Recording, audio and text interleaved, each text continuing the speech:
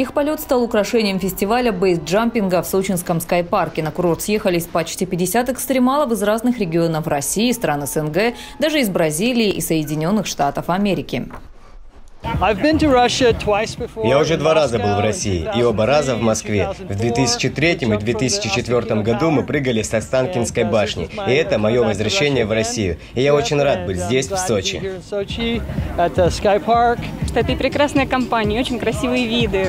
И когда ты поднимаешься на гору несколько часов и потом с нее прыгаешь, то есть в целом, в совокупности, это невероятное ощущение, которое я пока не ощущала нигде, ни в каком другом спорте прыжкам участники основательно готовились. На мост пускали только самых опытных экстремалов. Охотники за острыми ощущениями насладились панорамой Кавказских гор и Черноморского побережья. Сначала с высоты 207 метров, а потом из земли. Любители прыжков с парашютом находились в свободном падении около 5 секунд. И этого времени вполне достаточно, чтобы сделать несколько акробатических элементов. Международный сбор экстремалов в скайпарке стал традиционным. Он прошел уже в четвертый раз.